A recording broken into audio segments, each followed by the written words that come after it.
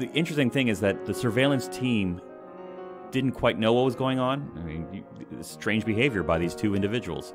By the way, Assad Sarwar was not on anybody's list, even though he had been to Pakistan as well.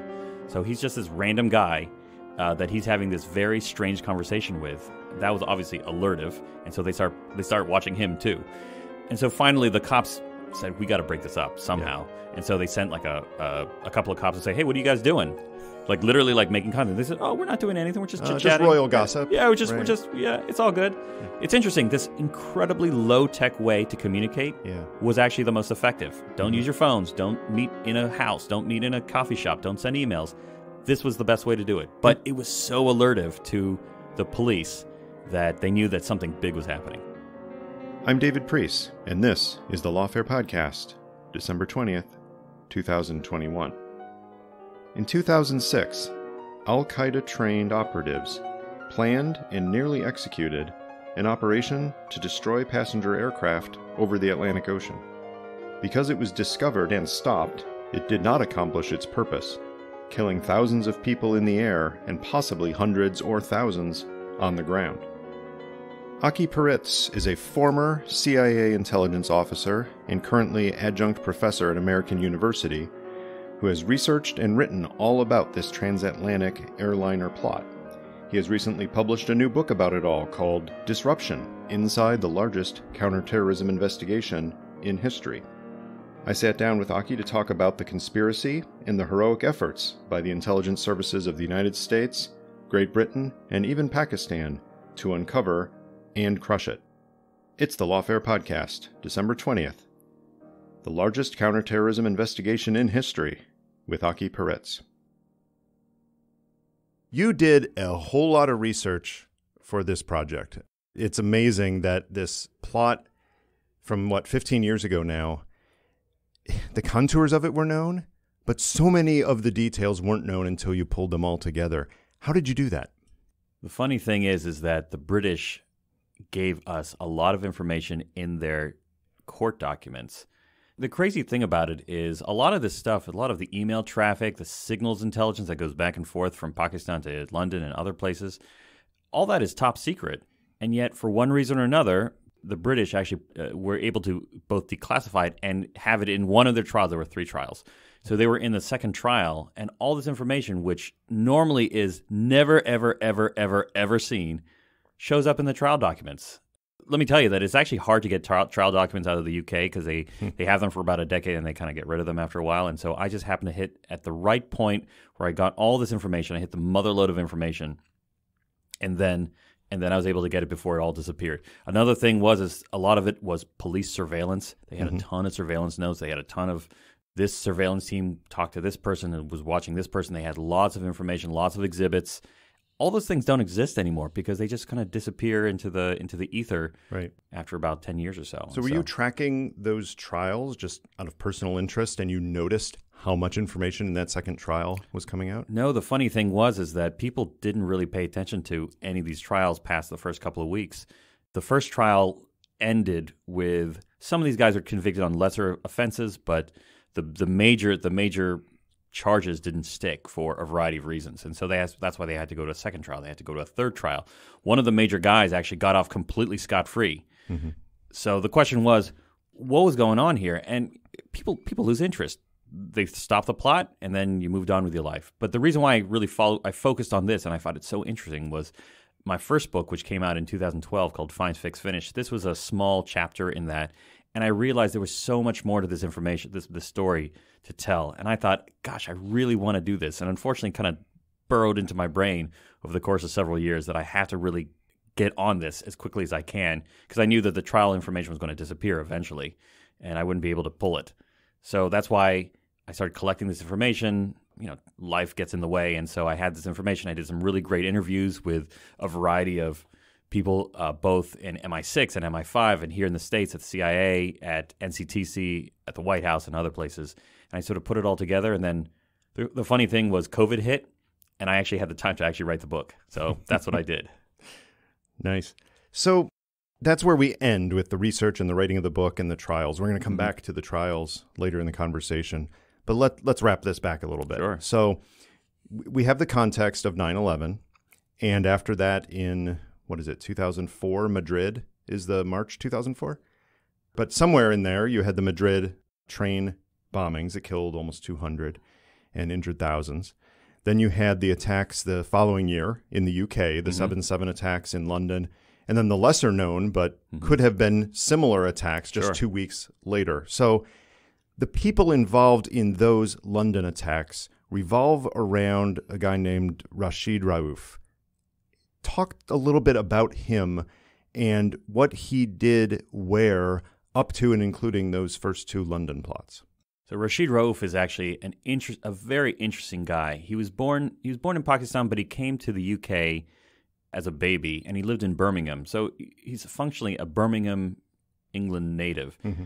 He grew up in East Birmingham, just a, just another one of these kids, a first or second gen, really a second generation kid. He spoke fluent English. He was he was he was perfectly English in in all his other ways. And he went to high school. He went to middle school and high school, and he he did some college and then he was caught up in a in a strange incident which I talk about in the book where his uncle is murdered under extremely dubious circumstances. Hmm. And so he so his uncle is murdered in a in a 3 a.m. attack, a knife attack on the street. It's funny. Uh, Birmingham is a is a city of about a million people, and they I looked up the the statistics. I mean, murder is actually you know it's considered like kind of a dangerous city, but it only has about 24 to 30 murders a year. So compared to American cities of similar so size, stand out. it, it doesn't. It, it's considered a very safe city. But putting that aside, his his uncle is murdered, and then suddenly Rashid Rauf leaves the country. Why would you leave the country? And his family began to stonewall the the police investigation. He left with his also his best friend, a fellow named Mohammed Gulzar. So Mohammed Gulzar and Rashid Rauf disappear. That is what you call in law enforcement a clue. Was there any sign that he had been radicalized before this? It's it's really unclear. He was uh, he's actually considers himself Kashmiri. Uh, his his family's from a little a little village in Pakistan controlled Kashmir. Kashmir is basically between the Indians and the and the Pakistanis. And there was there was an idea that there was there was a lot of agita in the 1990s. You had a lot of individuals coming through the UK on fundraising tours, people who are currently on the most wanted list, uh, the rewards for justice list. I actually looked up one. One of the people that reportedly connected with his with his father was a fellow named Hafiz Saeed. He was he was the head of he is the head of Lashkar-e Taiba. They, there's a ten million dollar bounty on his head, according to hmm. the State Department. And so all these people were coming through his his his area, but it was never clear whether he was personally radicalized. But he leaves because of his uncle's murder, and then a lot of things happen, and then suddenly he is thick as thieves with a lot of other jihadi folks, and that's where the story really takes off. Where 2003, 2004, 2005. By 2005, he is connected very well with Al Qaeda guys in Pakistan and also in the tribal areas, and he, he helps train some folks, a number of folks, who go back to the UK and commit these terrible attacks. Now, the, the interesting thing that, that I didn't quite realize when I was doing this research was when the 7 7 attack occurs, and this was actually the, the worst terrorist attack in London's history 52 people died during a rush hour attack. I believe it was the worst attack actually uh, since World War II in terms of fatalities in a single mass casualty occurrence the British and the and the Americans had no idea these guys were coming until they set off their bombs, and that was obviously a huge wake up call to the security services. And then when Rashid Rauf's other cell, the 721 cell, tried to blow things up, and for the you know they bumbled the the chemical precursors, uh, so nobody died. They had no idea those guys were coming either. So remember, you had a massive, massive casualty attack, and then two weeks later, almost the same thing happens, and they had no idea who these guys were until the bombs went off. Now, you mentioned that they bumbled the uh, precursors. Explain what went wrong and then what was the solution that others then came upon to try to commit the next attack, the one we'll be talking about in depth. Sure. One of the things about making bombs is you need chemical precursors, and you can build explosives using household goods, but you need to know how to boil down certain household goods. In this case, was hydrogen peroxide, which mm-hmm. you can buy at at the drugstore. You can buy it at at hair salons. You need to boil this stuff down to a certain consistency, to a certain um, mm-hmm. percentage, and then it turns into this gloppy material. And then you need to put it together, have a starter, and then you can you can take it and blow things up that way. Unfortunately, you need to bring it down to a a very high concentration, hmm. And the seven seven bombers figured it out because they knew how to do it. You needed to keep it cooled so it doesn't blow up in your apartment. The guys two weeks later weren't really following. They weren't really great students. Uh, or the, the main the main ringleader who was who was showing his his buddies how to do this wasn't a great student, and so he he kind of bumbled the, the recipe, and so They'd been trained by Al Qaeda in Pakistan, In Pakistan. Afghanistan. yeah, yeah it- it, uh, probably in Pakistan. But the real Uh, difference between 7-7 and 721 was simply that the, the first group were good students and the second ones just yeah. weren't as sharp. yeah. So remember, kids, stay in school. Right. Okay. now, they learned from that they not you know necessarily those individuals, although some of those individuals did learn from the 721 failures that these devices had little little flashes, but they, they didn't actually ignite fully. Yeah. So they knew they had to try something else. they knew they had to try something else. And I think more broadly, now remember, obviously, obviously you know this, David, but terrorism is political theater. You you had this massive attack on seven seven that people remember, but essentially British society kind of went on. They just Things returned on to normal really quickly. really quickly. And in fact, uh, the FTSE, uh, the attack was on a Thursday. The FTSE lost 200 points until they closed it because of the attack, and then by Friday it was up 210 points or something like that. Hilton hotels didn't really cancel. There were no cancellations in London. Mm-hmm. The the underground basically went back to normal as soon as they kind of Cleaned did it their up. invest, cleaned it up. Right, right. Everything went back to normal. So so the major of shaking of the the infidels, so to speak, never really occurred. And so y- if you were Al Qaeda, you'd say like, "Wow, this is a major attack, but it didn't really achieve the the larger strategic Mm-hmm. effect that we really wanted." So we got to dream bigger. Right. The British government reacted by cooperating even more intensely with the U.S., and the U.S. government reacted, but the British public kind of shrugged. Yeah, they kind of shrugged. And that's the interesting thing about I think that's maybe one of the larger lessons one can learn is that one can have a resilient society. You know, London and British society has been has been dealing with with mostly Irish terrorism for a century or so. Uh, and so you've had some really awful attacks and near misses, but just like a person's body can can, you know, you can get sick and you can get cold and get a flu, but you can get over it. One can have a resilient society, one can have resilient uh, security services and sort of move on with life. Yeah. And you don't have to freak out over every single thing. Let's introduce another character here, someone central to what became known as Op Overt, the plot to take down the airliners. And this is Abdullah Ahmed Ali. He was actually born in London. He wasn't even born in Pakistan and came Nope. over as a baby. He he was a uh, native born Brit. Tell us a little bit about him and how he got involved with this next stage of attacks. So Ali, he was uh, one of several children, middle class immigrant family in Walthamstow, which is in East London. Went to went to middle school, went to high school, went to he had a college degree. He he lived a very working class, middle class English lifestyle, but this remember this is this is during the time you know you had 9/11 occur and then you had the invasion of Iraq and a whole bunch of other things. And so there was a lot of feeling in this area where they said, well, bad things are happening. You know, uh, I, I tried to talk about this in the book where maybe when he was in high school, he fell in with some some bad folks. He was interested in what the Taliban was doing in the 90s. This is pre 9 11. Mm-hmm. But a lot of kids are interested. You know, they're, they're interested. They're looking at certain things. I mean, why did this guy become interested and then do something about it? And that's one of the questions that that terrorism analysts are always wondering is that you you you expose people to bad things and and they feel bad about certain things. So why do they then take action? And for one reason or another, Ali decided to take action. He went to Pakistan. He fell in with some people. He saw firsthand, actually, the consequences of war in Afghanistan and the invasion of Afghanistan because he actually worked at one of these refugee camps on the on the border in the, in the Pakistan side of the Afghan Pakistan border. And these are really dismal places, like really awful places. And he was a you know, a middle class guy, you know, he has money in his pocket, he's got nice warm clothing, and there's all these these Afghans coming in. They're dressed in rags. There's a lot of uh, sickness, like children die first in these kind of situations because of, of totally totally uh, preventable diseases like dysentery and diarrhea and so forth. And so he was exposed to this firsthand.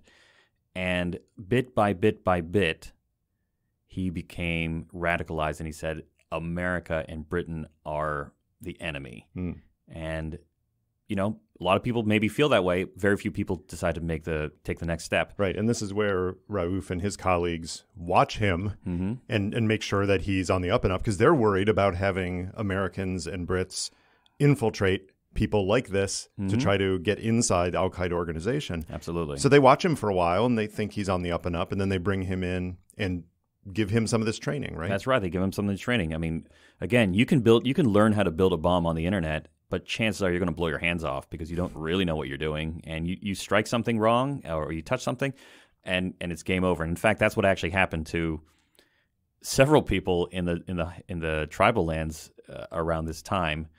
They just touch something, touch two pieces of metal together, or they drop something, and poof, Boom. they're gone.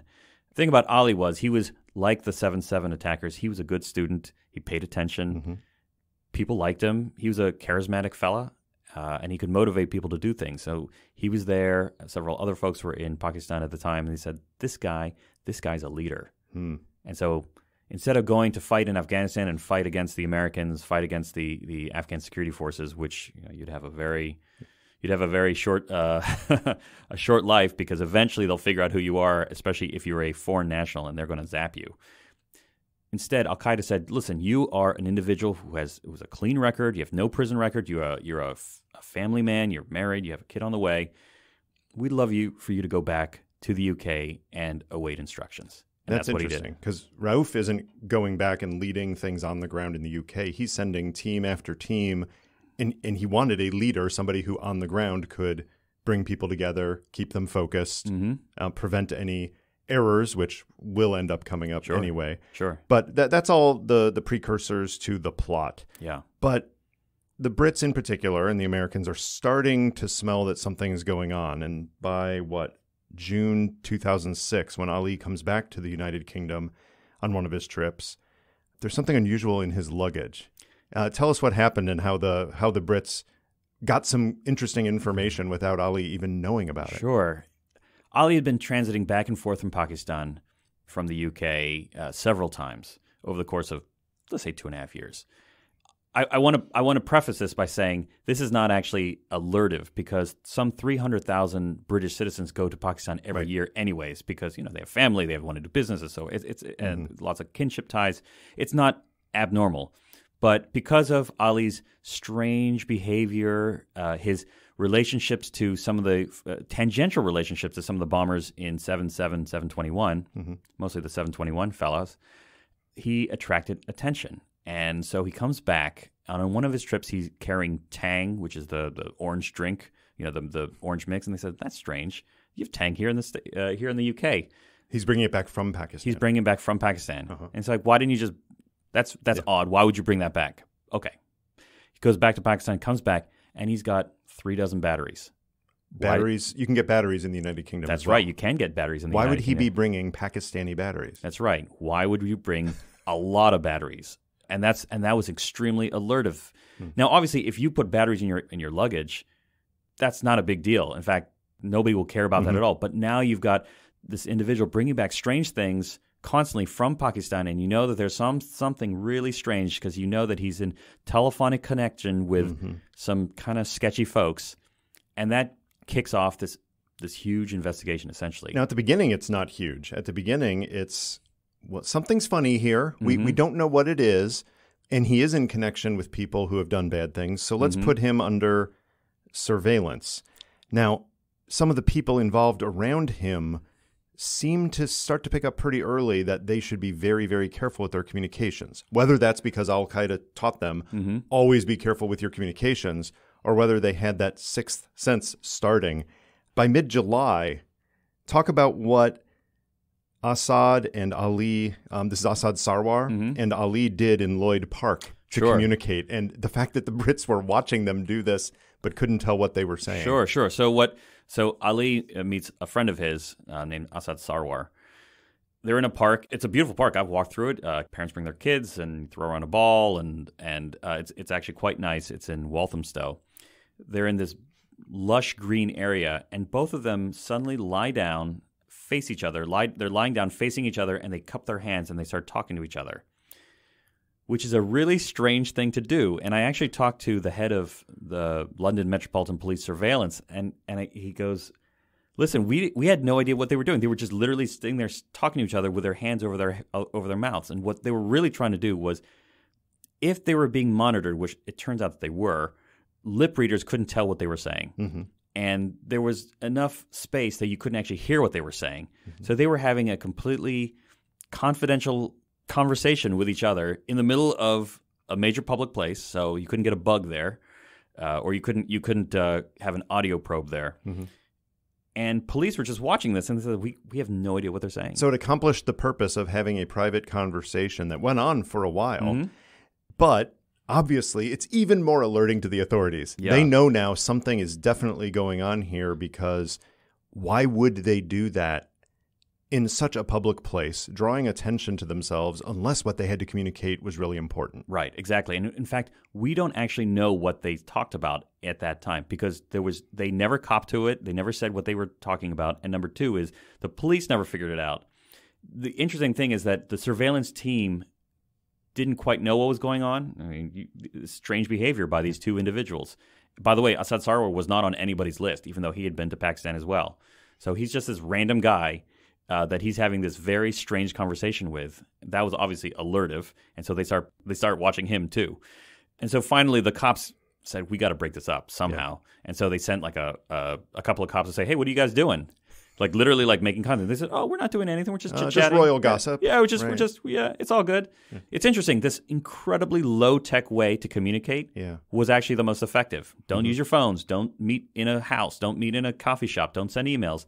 This was the best way to do it. But it was so alertive to the police that they knew that something big was happening. Right. It wasn't too many days later when they decided they needed full surveillance on everybody that they'd been watching because they knew something was happening and they, they didn't have that level of information. So Yeah. they had dozens of people that they needed to have full surveillance on. Now, Mm-hmm. in the movies, that's easy, right? Mhm. Because you just see the police suddenly put a few cars out there and they track a person, and that's great. hmm That's not the way it really works. When you have dozens of people who need full 24 7 surveillance, Yeah. talk about what that means and how well equipped or ill equipped this unit was to actually handle it by themselves there in London. So remember that well, and this was this is straight from the horse's mouth from the Met surveillance guy who actually authorized all of this. To do a 24-hour surveillance, you have about 3 shifts. Every shift requires anywhere between 8 and 10 people. So that is up to 30 people per suspect. Uh, watching them, walking them around, you know, going to their house, sitting outside their house, all that sort of stuff. Remember, you have to be unseen. And at some at one point they were actually surveilling 20 24 people.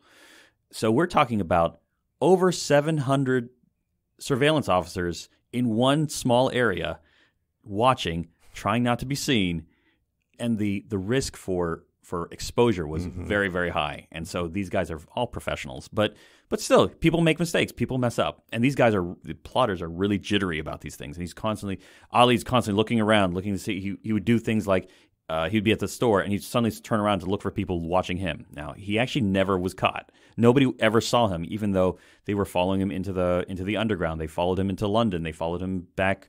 Uh, they followed him, his his wife, his his infant son through supermarkets and cemeteries and so forth.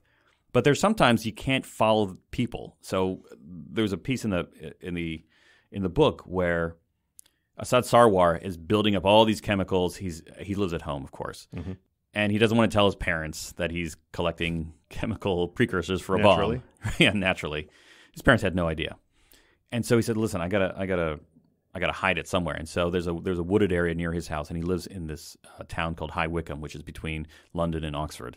And so he goes into the woods at four in the morning, and if you're by yourself in the woods at four in the morning and it's a very dense place, the police can't follow you Right. because if you Yeah, if that blows if- surveillance. totally blows it, and then then it's game over. So And they know they know something's happening in the woods, but they have no idea what. they have no idea. They can't. And at the time, they, uh, it was a very dense wood, so they, they couldn't have any sort of aerial surveillance. Mm-hmm. So these cops would just have, to, and these surveillance guys, remember, there are eight to ten of them somewhere. They couldn't do anything, so they just sort of had to sit there and wait. And so he would show, he would go into the woods with a green bag, a white bag, a suitcase, a shovel, and then an hour later he'd come out and he wouldn't have these things. Right. They'd have no idea where it was. Mean, we know now that he was hiding some of the explosives, right? He was hiding But some. they of the didn't know that at the time. They had no idea. Yeah. And in fact, after this all went down, they they they checked out a bunch of other Mm-hmm. wooded areas and they found other explosives. They had no idea that was that was out there. They just sort of Right. stumbled upon them. Amazing. So there are multiple stories going on here. There's the story of the plot itself Yeah. and and how this somewhat loose, lightly led from Pakistan because it was mostly delegated to uh, to Ali. hmm How this was running. There's the story of the investigation, the surveillance, and all of that. There's also the interaction between the Brits and the Americans Yeah. because the Brits are running this as obviously intelligence is involved, but they're running this as a strict law enforcement investigation, surveillance, collect evidence because they plan on using this in court. Yes. Of course, they're telling the Americans what they're getting about this, hmm and the Americans, in a counterterrorism dominant posture, are saying, "Well, when are you going to take this cell down? Uh, when, when are you going to do this? Don't don't we have enough? There's a lot of suspicious behavior. Can't you just arrest them?" And there's this tension already. Yeah. And it appears that it really jacked up in in August when audio that had been put into the uh, key flat in East London, uh, the surveillance inside the the flat, picked up the plotters saying California, Dallas, Chicago, hmm and the U.S. government goes berserk. Yeah. What was the United States doing to try to bring this investigation to a close so that the possibility of any of these plotters actually getting to the United States, presumably to California, Dallas, Mhm. and or Chicago, that they could mitigate that threat? Remember that you have Al Qaeda, an Al Qaeda cell building legitimate bombs, talking about American cities and Mhm. states. Yes, the Americans lost their minds, and this is actually, I think, this is a philosophical issue. the the The Americans saw this as a war, and the British saw this as a police action. And had this been another country, had this been in in another country that was not the UK, Mhm. maybe the Americans could have gone on in and done unilateral issue, some sort of unilateral actions. But that really, you can't really do that in the UK with all these individuals, obviously with a competent law enforcement intelligence service. Right. So one of the things was as well, how can we, how can we put pressure? How can we bring this thing to an end? Because at the time, President Bush kept asking assistant to the president for Homeland Security and Counterterrorism, Fran Townsend, Mhm. Should we shut down the should we shut down the the eastern corridor to uh, airspace? Every 24 hours she would ask this and she would go and talk to the cia and talk to dhs and and and other folks and said like uh, what do you think? And every 24 hours they said well i don't think we should do that. And so fran had to make that decision and she should say okay mr president i think we can fly for another 24 hours. I mean at this point F- fran townsend is sleeping on her couch at the white house because you never knew when something was going to happen. Right. And what do you do? Remember, it's also August, so the president is on vacation down down in Crawford. Mhm. You know, Clear and of brush. clear and brush. He's always clear and brush. Still getting reason. briefings every day, still Yeah. in communication with the White House, Yeah. but everybody in August is dispersed. Everybody's dispersed. Uh, Vice President Cheney was back in his ranch in, in Wyoming. Prime Minister Blair is actually in the in the Caribbean, just like hanging out with his family. And yet, there's this massive, incredibly tense relationship and this this this investigation going on, and all the policymakers are are actually outside of where they need to be. Mhm.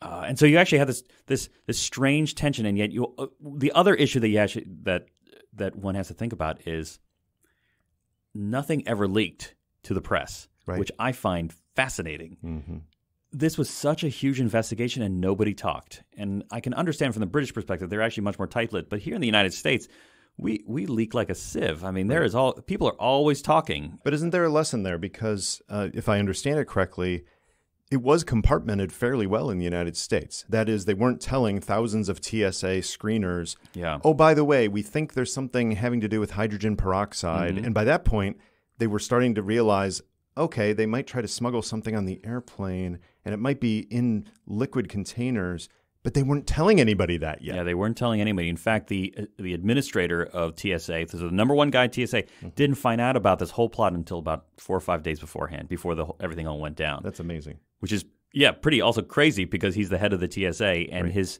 his counterpart in the UK was briefed on it the entire time.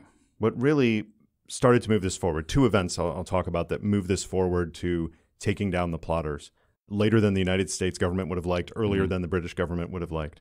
One was August 6th, when Ali goes to an internet cafe and he's You searching. remember on- those? Oh, I, I know. Yeah. I, I had some good memories Yeah. reading about these. But he used them a lot. Yeah. Uh, going into different internet cafes, searching things. Uh, good, good tradecraft, Mm-hmm. right? Except that the Brits were all over him, and, and they did discover what he was doing. And he was there searching on and saving data on seven flights. What did those flights have in common that took this to a new level? All those flights were leaving London Heathrow Airport to North America, to New York, to Chicago, to I think one went to Montreal, uh, other places, all within a two-hour time frame. He was looking up all these flights, not looking up return flights, just looking up one-way flights. hmm And it's really interesting because we I talked to when I talked to the surveillance guys, they actually had to. The only reason why they knew about this was because I mean, and think about these little internet cafes that are these small little rinky-dink places with all these computers and people sort of you know typing away at their computers. They actually sent in a surveillance officer to look at him and look at his screen because he's obviously hiding all this stuff. Mm-hmm. And this is a, it was a young woman in her twenties went in there and actually just looked over and looked at his at his at his screen and said, you know, saw all these these this flight information, also things for Heathrow Airport, uh, and obviously reported it. And that's when you knew that this thing is going to go live really soon. Don't know when, but something's really bad. If he's looking up flight already, flight information, you know that he's already moving pretty fast, They're, they're at least weeks, but probably days potentially. from from moving forward. And all of them leaving within that period of time means that there could have been presumably seven planes. hmm Maybe he would search on more later, but at Yeah. least seven planes that would be in the air at the same time. Some of them That's over right. the Atlantic, some of them presumably over or landing in American cities. That's right. And with the devices they were, if if executed properly, with Mm-hmm. the devices they had, they could take down the airliner, killing hundreds of people on each plane, hmm and presumably hundreds or thousands of people if they were flying into a city at the right time. Right. Or over a chemical factory or over Absolutely. a dam or over anything. And that was one of the that was one of the nightmare scenarios that the United States could have spilled out. Uh, I mean, if you blew up seven planes over the Atlantic, you'd kill, you know, let's say there are 240 people per plane. Uh, a lot of people Mm-hmm. Die. thousand people, A right. lot, lot of people. It would destroy the entire sort of civil aviation industry. Because remember, at this time, 9 11 had just happened five years ago, but also the entire civil aviation system, all these airlines were going bankrupt uh, at the time for a variety of reasons. Right. The And so- economic impact would have been gigantic. Enormous. Right. Enormous. right. So that's one event is the the internet searches on the planes Yeah. and the flights. The other one that really forced a move happened in Pakistan of all places. Yeah. When uh, among others, Jose Rodriguez, the deputy director of operations at CIA, was having meetings with Pakistani officials and he learned that Rauf, who everybody was curious about now and they were Mm-hmm. watching him, that he was on the move because he foolishly left one of his cell phones on and they could track this movement Rookie through move. Pakistan. Rookie move. He should have known better, but he was getting potentially away from coverage. They had Mm-hmm. pretty good picture of where he was and what he was doing, but he was heading and he could have gone into the tribal areas. He could have disappeared and gone dark. So he made a choice. What Mm-hmm. did, what did what did Jose decide? So there was a there was a intersection near a railway junction in the middle of nowhere. ISI, the Pakistani spy agency, had a barrier, had had some guys there. Actually, there was actually an agency person on the ground there giving technical assistance as well. And Jose Rodriguez and the the station chief at the time and the senior folks at the ISI were all traveling in a jeep, going to dinner of all places. They, everybody gets a phone call saying, Rashid Rauf is in this bus. Mm-hmm. He's coming toward the checkpoint. What do we do, boss? And they all kind of look at each other. And they all look at Jose. Jose says, "Take him down." Now he did not have he did not have explicit instructions from the president or the CIA director to make that choice. He had to make it in that moment because either Rauf was going to go through the checkpoint and perhaps go dark, Mm-hmm. or we were going to pick him up. But there's a consequence if they pick him up, which they did. Right. How did the Brits feel? Let's put it that way. How did the Brits feel about them picking up Rauf at this point? I was told they were quote well, pretty well miffed Ooh. about this. That's severe in So, uh, that is in that is English yeah, speak. That is that is British English. and it's funny. I talked to uh, a police reporter for, for the BBC, and she and she was such a she's such a wonderful person, and she you know she has this very wonderful like understated British way of saying this. It's like pretty well miffed. It's like you just jump started at a humongous investigation, which we told you don't do, and you did it, and, and, and those Americans did it anyways. Because by arresting Rauf, mm-hmm. he had been in communication by email. Constant- lots of code words. Lots of code words, constant emails, constant phone calls. with a lot of these people. Yeah, they- and suddenly he goes he goes off off the grid completely. hmm They think that the plotters in London are going to realize something has happened and execute the plot. execute the Or plot or destroy everything. themselves. And then Yeah. you've got a fully functional Al Qaeda cell Yeah. with 20, 24 people, more or less, Mhm. in London that could be, you know, activated by somebody else at some point because they've all got they all have the connections, they all have the they know how to build bombs, they know how to do everything. Mm-hmm. And so the decision was made to go out and arrest literally everybody. Mm-hmm. The the interesting part was Ali, this the, the ringleader, and Assad Sarwar, who was the quartermaster who was collecting all these chemical precursors. They just so happened to be hanging out at a car park late at night on the 9th of August. And they're just sitting there chit chatting. Surveillance teams watching them, trying to listen to them, but they couldn't quite tell what they were saying. And they're just like walking around in the in the in the car park actually at the the Waltham Forest Town Council, which is their city hall in that area. Mhm. And then they get and then the surveillance folks get the get the call. They say, "Take these guys out right now. Just arrest them." The surveillance folks The get that call? surveillance, the surveillance. That's people. not a typical call to the surveillance team. No, and remember, these are British surveillance team members. They don't have weapons. Nobody has guns. And they said, like, we're the surveillance team. We shouldn't do this. No, no, nope. Take them out right now. Armed response will be there shortly. So they said, okay. And so they just rushed them. They literally rushed them and say, police, police. They had no idea whether Ali and Sarwar had guns or a bomb in the car or were going to mm-hmm. fight or run or they didn't know. But to their advantage, Ali and Sarwar didn't know that the surveillance team didn't have weapons either. That's true. That's true. And if somebody screams at you, police on the ground or something like that, Yeah. you can fight or you can run or you can give up. And luckily for everybody, they gave up immediately. Did did anybody in the, the core group of these plotters fight instead of giving up? So one of the people, remember this is Rashid Rauf's best friend, Mohammed Gulzar. Mm-hmm. They come to his door. It's it's very late at night, and they, they bang on the door and say like, "Open up! It's the police." And he basically and he looks through the the peephole and he says, "Obviously the police." Uh, and he says, "Nope, I'm not giving up." And so he starts turning off the lights and started running into the back of the uh, the back of the flat that he was in. And so obviously the police are ready for this, so they just bash down the door and grab him. But essentially, everybody gave up. They had no idea the cops are waiting. And when you have 30 cops or f- however many police officers are, are coming to grab you, they just gave up. They just literally gave up. Nobody fought. So they just gave themselves up immediately. Now they didn't know that they had everybody. And in fact, later on, there were some signs they clearly didn't have everybody because Mhm. of some evidence issues we'll talk about. Sure. But they didn't know. They didn't know. So there had to be a reaction in terms of transportation, specifically between London and the United States at Mhm. first, and then and then later, because now they were arresting these people.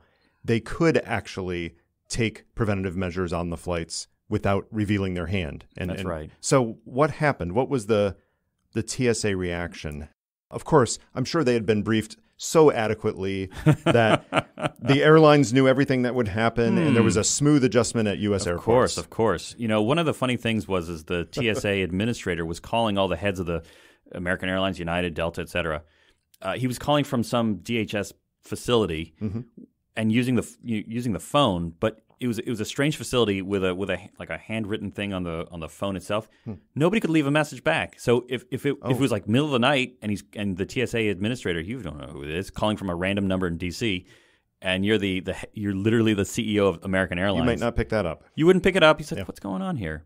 Here in the United States, we rolled out all these no liquids for anybody Mm-hmm. at four or five in the morning, which means the next day, which was August 10th, complete chaos in all airports everywhere. If you remember, I, I have I have stories of, of people in the book where they would just show up and, and TSA guys would actually have to take these humongous bins because you show up with your drinks and your coffee and your Right. You your your- fine Kentucky all your bourbon, toiletries and your- everything. everything. You have to All chuck it, gone. all, All gone. gone. Everything's gone. Yeah. and with no warning, no warning at all. Mm-hmm. And the t- they had to brief all these thousands of TSA employees. This is what's going to happen immediately.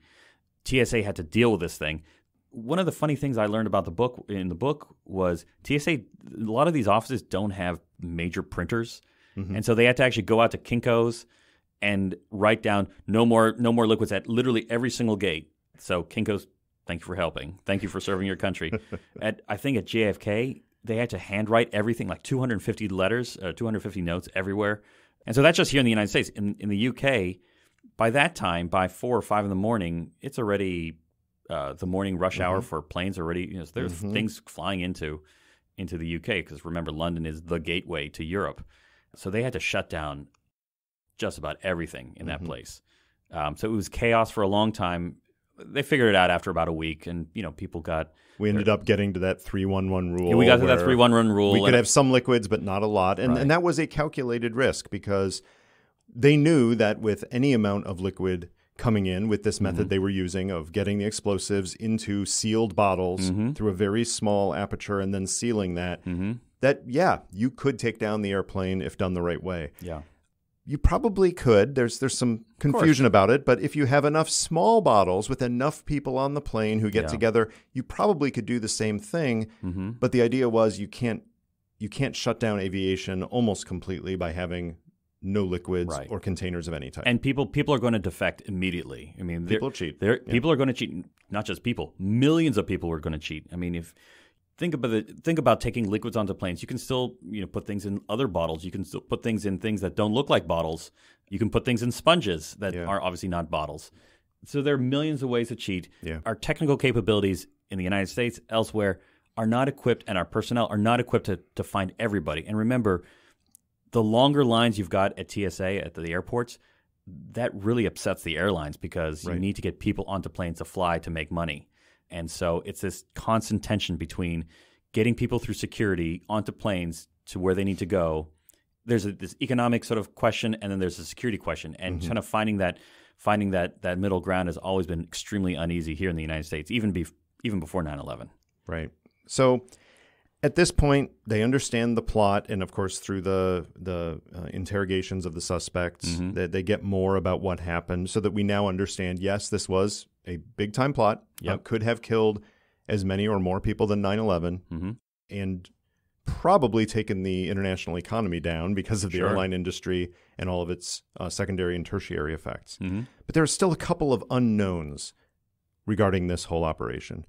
One of them has to do with all of the plotters in London itself and the weapons, the devices they were creating, because you found in your research that somebody was out there destroying evidence and they found Yeah. some destroyed containers that were clearly linked to this, but they never found the people involved. Talk through They that never- a little bit. uh, so there's this humongous dragnet. All these people are arrested.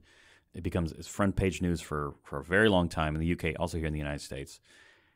And then about a week later, the cops are doing their investigation, and along the M40 motorway and the highway in the UK, some of the police and the Thames Valley Police find bottles with concentrated hydrogen peroxide, the the very chemicals that they mm-hmm. were going to use to, to blow up these things, and they were just on the side of the road. Somebody was destroying evidence, and that somebody was never found. They had no idea. They never f- pulled a fingerprint from these bottles. It was just there. So there are people who were deliberately destroying evidence that were never arrested, or maybe they were arrested and they were they got out and they just uh, Right. wh- why on earth would you would you do this and dump it on the side of the road? Mhm. But those individuals, individual or individuals, were never found. Another part was when they arrested all these people, they went through their their phones and their emails and et cetera. They found all these other networks to other people. There's a strange there's a strange comment made by Rashid Rauf to Ali, and he's talking to his his third partner Gulzar, and he says, "Don't give Gulzar all the explosives. Why would Gulzar need any of the explosives? He was not part of this plot. I mean, he was not one of the the Yeah. bombers. Why would you give him anything?" Hmm. Which means to me, you know, this is one of those the dog that doesn't bark kind of situations. Mhm. He was going to give it to somebody else. Who is that somebody else? We don't know. We don't know. The other big mystery is about Rauf himself. So Mm-hmm. the Pakistanis picked him up from that bus and interrogated him themselves. Yeah. The U.S. expected to get access to him, even if not right away, to ask their own questions. This never happened. The Pakistanis never offered him up. Mm-hmm. What happened to Rauf? Well, and I actually talked to several senior CIA officers at the time. Remember, this is during this this whole time when we are wrapping up all kinds of Al Qaeda guys in Pakistan and elsewhere. Uh, a lot of these guys are being rendered to the United States over this over this this period. A lot of these guys are still in Guantanamo Bay, arresting people, et cetera, et cetera. Rashid Rauf is, and I asked them, I didn't realize until kind of toward the end of my research, is basically the only person they never actually allowed us to sit and talk to Hmm. in jail. The reason why is because Rashid Rauf tells his interrogators that he is a quote Kashmiri freedom fighter. He's Kashmiri, and he was quote trained in Kashmir, and he's brothers-in-law with his fellow named Masood Azhar, who is a famous jihadist who the ISI works with and has worked The with Pakistani ISI working closely with these Kashmiri groups. and incredibly closely. In fact, Right. the ISI built these groups to fight uh, the Indians Mhm. in Indian-controlled Kashmir, and so very quickly they find out that the ISI might have trained him in the first place. oops. Oops, that's very embarrassing.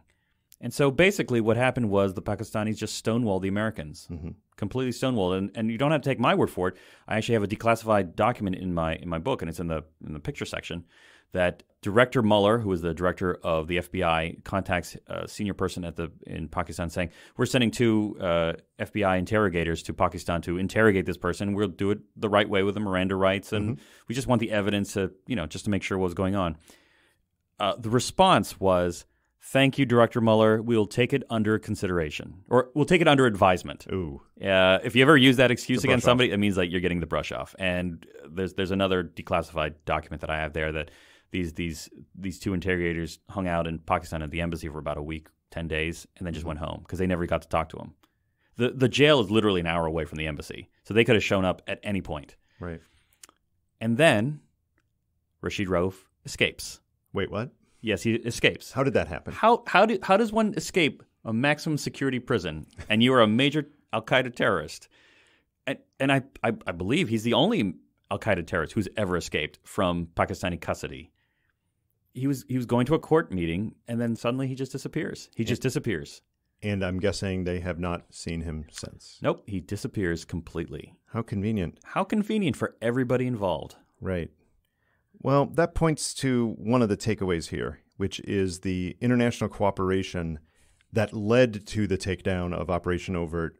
The Brits, the Americans, and the Pakistanis, up to and including grabbing Rauf. hmm But things changed after Operation Overt. The Yes. Brits and the Americans worked more closely together than ever, although the Brits were still a little miffed Sure. at the way the Yep. Americans did it. Mhm. But it, it solidified that relationship in some ways. hmm But the Pakistani relationship with the Americans changed, didn't it?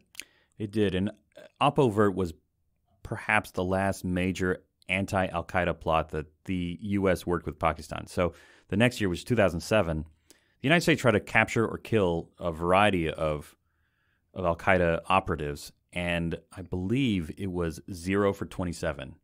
So there was a question at the CIA that are these guys being warned? Hmm. Get out of that car. You know, drop your your phone. Get out of that that safe house because the Americans are coming. And eventually, director of the CIA, General Hayden, went to President Bush saying, like, listen, the Pakistanis are, are playing some double game. We don't know why they're doing this, but hmm. they are warning these Al Qaeda operatives. And over the course of several months, eventually, President Bush says, okay, fine, just do unilateral ops in Pakistan itself. And so if you actually look at the data, you look at these UAV operations, these these operations where we where we hit various places in, in Pakistan. Between 2004 and 2007, there were there were maybe under 10 each, and then suddenly in 2007 2008 you see a major increase, and you 2009 you see even a larger increase. 2010 you see even a larger increase in unilateral drone operations. And I have this. There was an ISI brigadier who actually said by 2007 2008 the the CIA was not talking to us at all. Uh, one final part is around that time in 2008 was when the Mumbai attack occurs. Uh, if you recall The, that the attack on the hotel. attack on uh, the hotel, right. attack on uh, the Jewish Community Center, yeah. a variety of other places. The head of ISI told the Pakistani ambassador to the United States, "quote These were our guys, but not our operation."